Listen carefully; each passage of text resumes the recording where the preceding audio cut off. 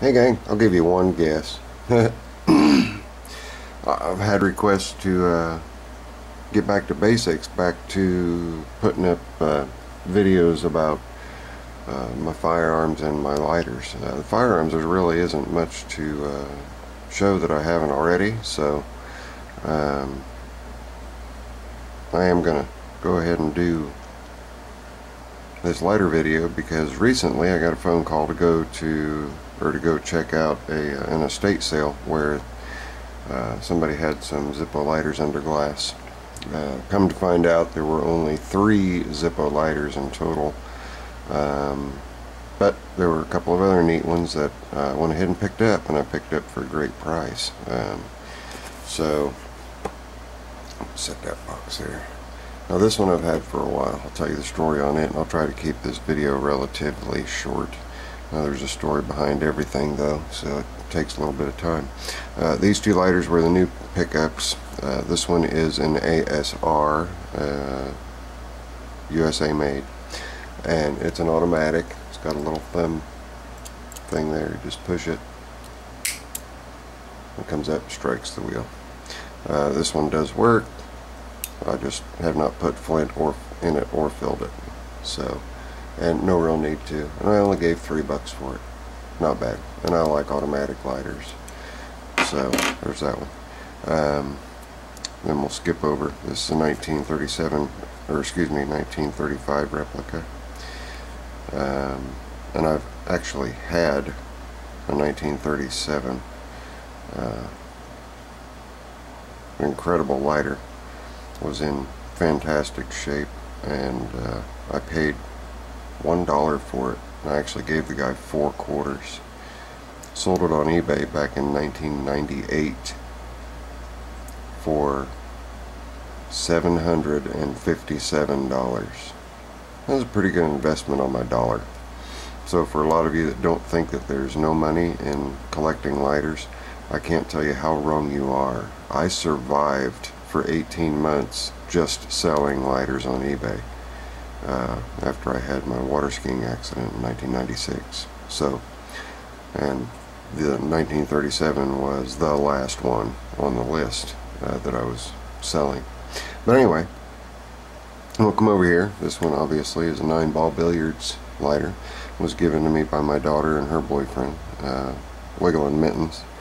And um, yes, I said Wiggle and Mittens. That's their nicknames. Um, the reverse side, if you guys can read that. The gentleman that they bought it from put Zippo Varga on the back and even spelled it right. So he was a Zippo nut like me and he knew exactly what that meant. So that made it easy for him to spell it right without any issues. Um, this one made was made in 2013, January 2013. Dating these lighters, the, the new dating system is really easy, but you get behind the, the past 16 years of dating, then you have Roman numerals. Prior to that, you had hash marks, dashes, and dots uh, to date the lighters.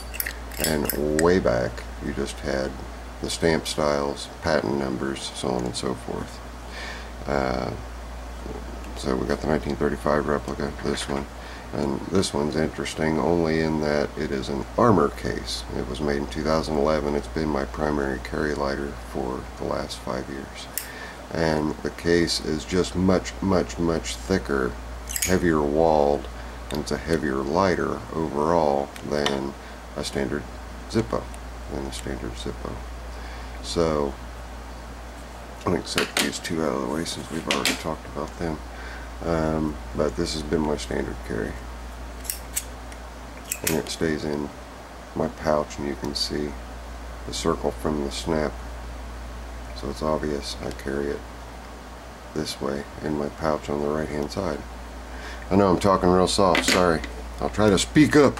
Uh, let's get on to this one. Uh, a lot of you that collect lighters will recognize this as a very popular lighter with collectors. It is called the Thorens automatic and made in Switzerland Thorens Fab Suisse and uh, this one's in nice used condition a couple tick marks some plating wear, uh, which isn't uncommon. It's been engraved with E.L.K. or elk. Um, neat thing about these, a couple different things. It has a lock, it's an automatic, and it has a lock, uh, just a screw lock. You unscrew it, push the button, opens, and you close it, and you can't can't open it. So it's safe to put in your pocket. First safety lighter. Uh, they started making these in the 1930s, late 1920s, early 1930s. Um, this has a uh, spare fuse holder in the fill cap. You just screw that little bugger off right there. Put a spare fuse in there. Or excuse me, fuse, listen to me. Ha! Flint! How about that? Put a spare flint in there. Has a little gasket on there. Just screws into the bottom, just like uh, filling and putting a flint in a Zippo lighter. Um, but the way you add the flint in this one is way, way, way different. So, let's uh, go ahead and get this sucker open.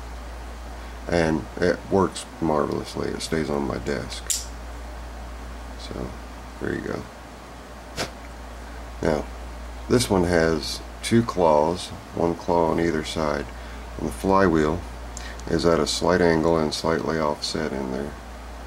And it has three pins in it. And what happens is, when you close it, this arm is spring loaded and the lid is spring loaded, two separate springs. And when I got it, I only paid three bucks for this lighter. So you, some of you collectors out there just gonna be like, ah, oh, wow, you stole it. Yeah, well, yeah, I did.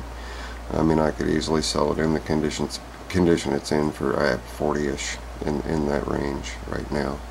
Uh, the market's gone kind of soft with the onset of uh, internet sales, but um, the uh, claw spring was screwed up in this. Let me tell you, the Thorens company made phonographs, music boxes, I mean really small, tiny, detailed stuff. Um, and they're very, very good at what they do. But without the right tools and the, and the knowledge, replacing that claw spring, the spring for that claw, let me just go ahead and push this down and get the lid out of it. There you go. Okay. This spring for this right here. And by the way, that's how you change the flint. You just push the claw down like I just did. Move the lid up out of the way so your spring tension is off and it moves the uh, this is a dual purpose spring right here that I'm touching. That spring opens the lid and holds the flint down at the same time. And it just goes in and it uh, anchors itself to the back of the lid. So, and you don't want to just close it after you replace the flint. You have to push that claw back down and under the wheel that has the pins that rotates around to strike your flint. Um, but that tiny little spring right there was all messed up. What a pain to get that sucker back in. But I finally got it back in and the thing, like you saw, just works marvelously. So to reset it after you've replaced your flint, you take the claw, push the claw down as far as it'll go and continue holding the claw down and then when you get it that far, then you push and close. Then the next time you strike, it may miss uh, the uh, strike wheel if the pins are not in the right orientation. So you want to hold your finger here to keep the lid from flying too far open and flipping your flint out. So then you just push. Alright, so it did spark and it did catch. So now we'll do it again. And off it goes running. So really neat lighter, really neat lighter. Um, love the mechanics of it. So like I said, this video may be sort of kind of long, not super, but maybe sort of kind of long. And this was a new old set that I picked up at a flea market. Uh, it's also a Thorens, a different style of Thorens lighter, but it also has a cigarette pack in it. It's snake skin. It's really, really cool. Check that out. How's that for a neat set? The engine turning, I mean this is a brand new set engine turning is beautiful on it um, it's just just a gorgeous lighter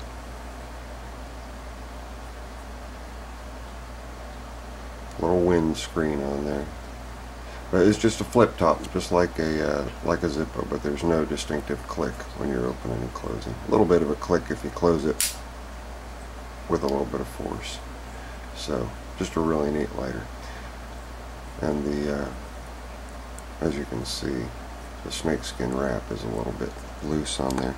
But, and this is a cigarette pack for, and the only thing that can be put in here is filterless cigarettes. But very, very nice set. So anyway, I've had this one for a while. I paid 10 bucks for that. Not bad, not bad. Box is in great shape. Now we're going to skip over to the creme de la creme, my best find. And it came in this box. Big box for a Zippo. Also came with a bag to hold it in. Felt bag, really nice. Came with two sets of instructions. One and two. And you can read what it says there. The new Barcroft desk and table lighter by Zippo. This is a Barcroft number three and it is an advertising. It's a three color advertising lighter that has never been used. There's the felt. The felt's in perfect shape. It only has just little fluffies from the felt bag that it was in. Here's your advertising. Century Electric, Fort Wayne, Indiana. And even these big ones had a distinctive click. So pretty neat. Has a standard Zippo insert. The uh, patent number is 2517191, which is correct for uh, lighters made after 1956-ish, 57-ish, when the patent was renewed from 2032695. But it's never had a flint in it, except for the original flint. And I've got a way to get, and well, the, the, the flints, they powder they turn into powder and then wind up compressing the flint tube and sometimes they'll split the flint tube. Fortunately this one was kept in a low uh, humidity environment and it didn't split the flint tube. You have to pull all the batting and all the packing out and everything to check it and keep from disturbing the wick and remember the order that the packing was in so you can put it all right back in place after you check the tube and then clean the tube out and the way I clean the tube out is pretty simple actually. Uh, you take the spring and uh, screw out that holds the flint and a uh, drill bit that has the angle increased on it to about about like that okay from your standard drill bit angle to about like that and it does a much better job of cutting through that um, excuse me cutting through the powdered flint that turns into powder and then gets solid again. It's kind of a bizarre composition. Uh, but anyway, the uh, neat thing about this is a Barcroft Model 3 and the neat thing about the Model 3, there's the insert you can see, is that it has a secondary wicking chamber. This is also full of batting and then it has a wrapped cord in the center that continues to fill this lighter. So you fill this lighter completely up, fill the insert up, fill the body up, and you'll go through probably three or four flints and it'll last you two, three months of consistent uh, use. So just pretty incredible, pretty neat. Um, but it being a Barcroft Model 3 and in the condition that it's in which is brand spanking new condition undamaged unblemished with a three color the lightning being gold and you got the red and the black uh, three color advertising it's it's definitely a very nice uh, addition to the Zippo lighter collection so uh, this is going to bore some people, sorry. Uh, it's going to entertain others who have uh, a, a, great appreciation for Zippo lighters and for uh, Tobacco in general.